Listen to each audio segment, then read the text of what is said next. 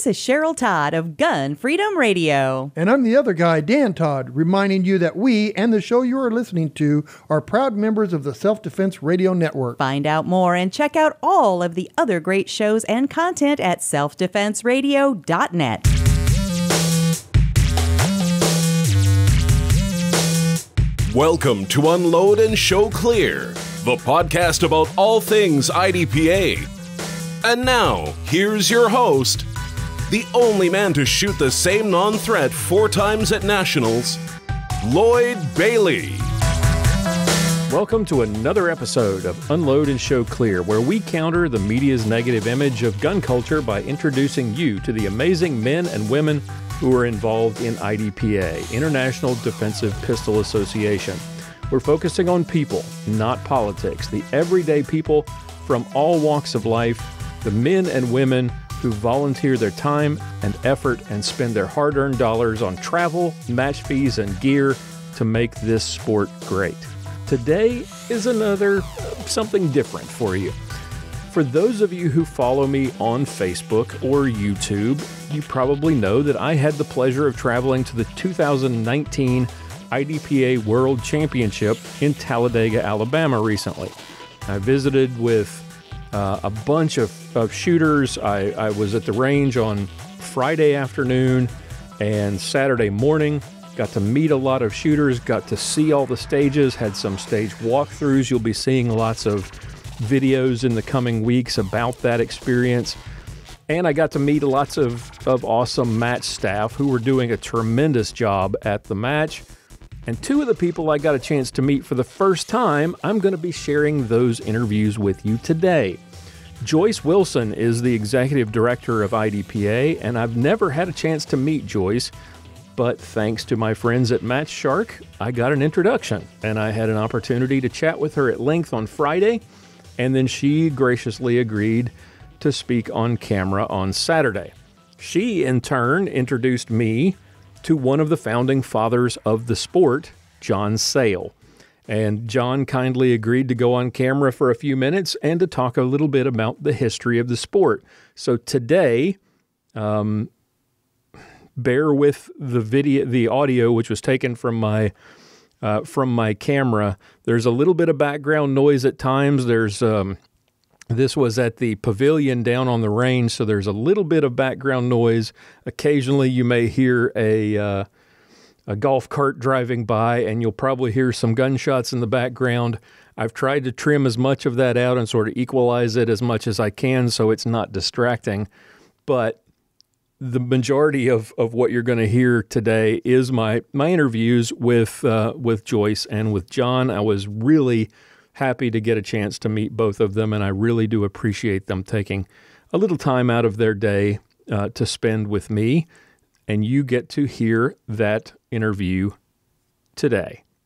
But first, I wanted to uh, thank our sponsor, the Blue Bullets. I'm really excited and honored to be able to say that Today's show is brought to you by the Blue Bullets. Why am I so excited? Well, for one, the Blue Bullets make cost effective, quality bullets specifically designed for competitive shooters. Two, they're big supporters of the shooting sports because they're competitive shooters themselves. And three, because I'm a customer and I believe in their products. Using their own polymer based liquid coating that they mix in house, Blue Bullets are designed to prevent barrel leading, to reduce smoke, and yet they're priced comparably to other uncoated lead bullets. And unlike uncoated lead bullets, the Blue Bullets are Glock safe.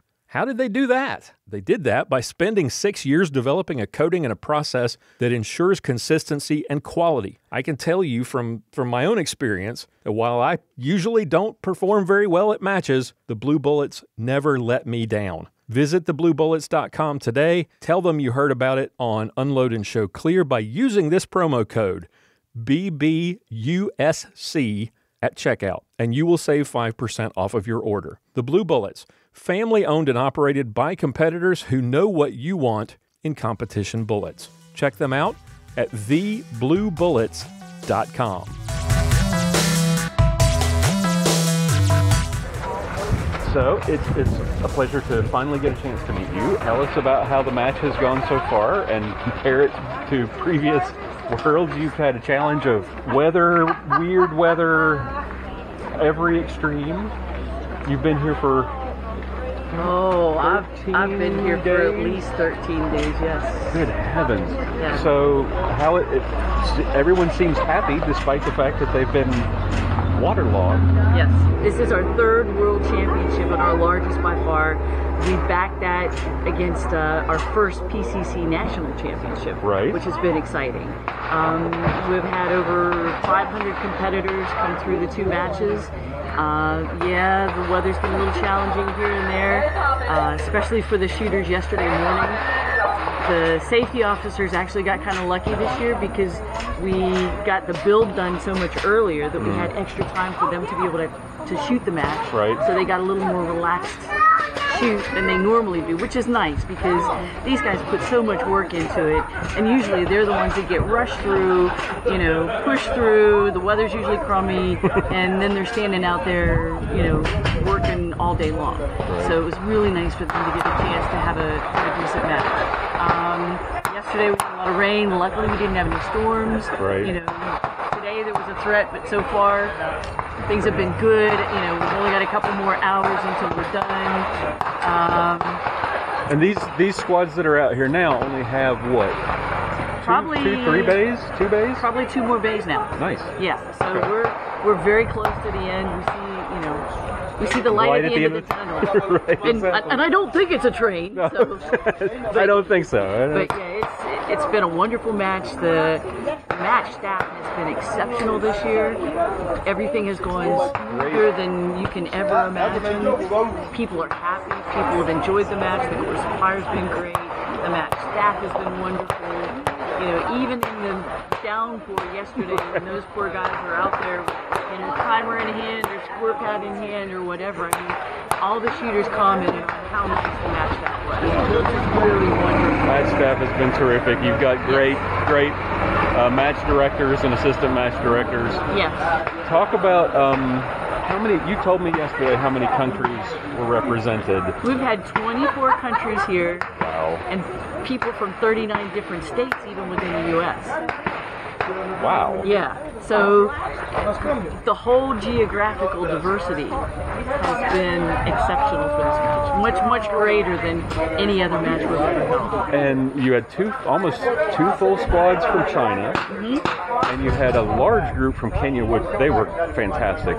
They were so much fun to be with, and they were so excited. You know, the Asians are always very reserved. These guys were so excited to be here at this match. Yeah, we we actually were able to get uh, the Kenyans in kind of at the last minute. Um, they actually showed up here without even slots. You know, just hoping that they might be able to get to shoot a couple of stages. Wow. And when Rick came to me and said, you know, I think we can squeeze them through the match, I was like, that's awesome. And they have been super appreciative. And in fact, you know, they all said bless you to me so many times. I'm pretty sure that's why. we why the rain's weather. holding off. So it's hey, I'll take I'll it. take I'll it. take it.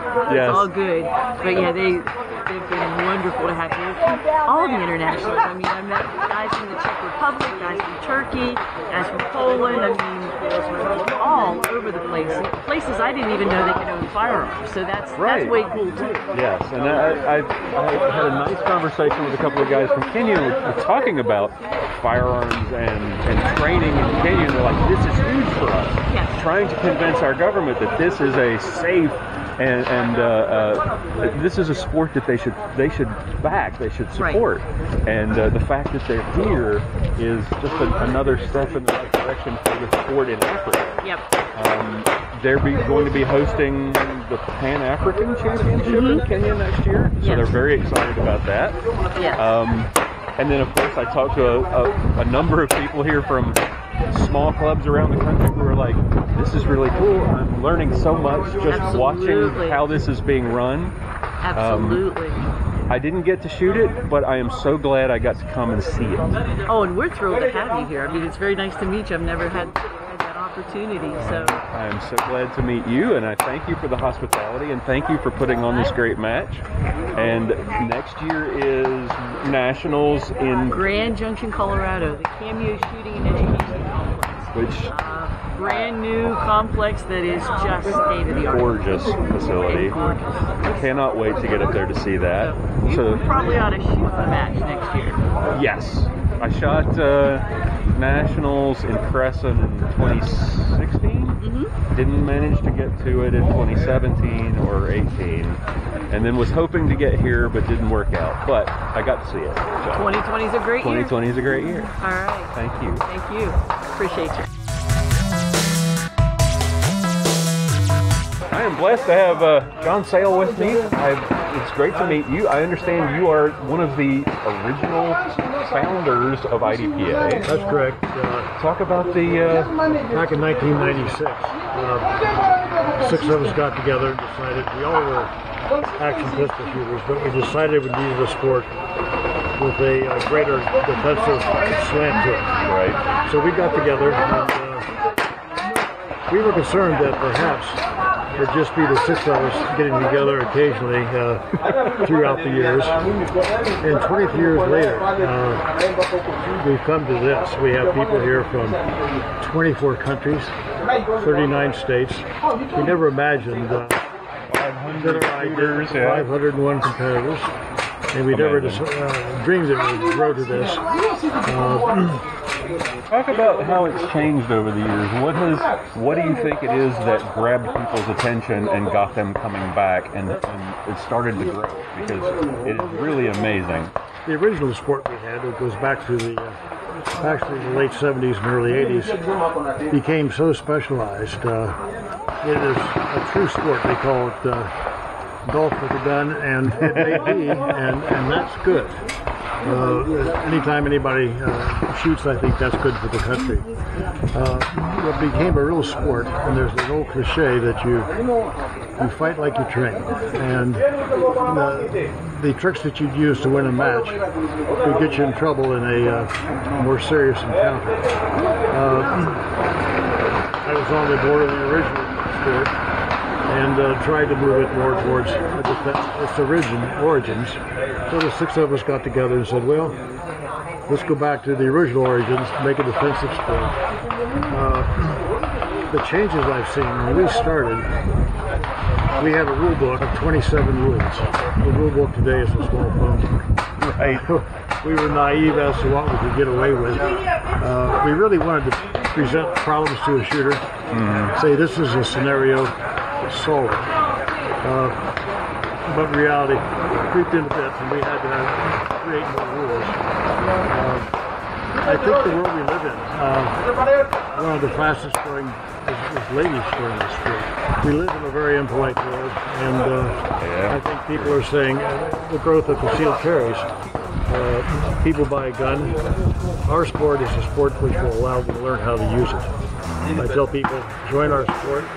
You can make friends with your guy. And uh, we've gone from a membership of six to coming up on 30,000 now. Fantastic. And uh, the, the sport has exceeded our, our wildest dreams. It's been a tremendous uh, match. I'm I'm uh, very glad I got to come and look at it, come and see it, and I'm, I'm so glad I got a chance Well, to thanks, meet you. thanks for your interest. Thank you. it. All right, that's all the time we have for today. I want to thank our guest for coming on the show and our sponsors for making all of this possible. Take a moment, if you would, to check out the website, check out our show notes at unloadpodcast.com. We've got lots of interviews with more amazing guests like the one you heard today. Join our Facebook group at unloadpodcast.com slash Facebook for all the latest updates and to connect with other fans of the show. And if you'd like to support the show, we sure would appreciate it. Consider becoming a patron at unloadpodcast.com slash extra. I've got some full-length interviews and special content available there exclusively for patrons as well. And if you know somebody or you yourself would make an interesting guest for a future episode of Unload and Show Clear, please contact me at lloyd at unloadpodcast.com or click on the contact page on the website and send us a message. We'd love to hear from you. Tune in again next time for another episode of Unload and Show Clear.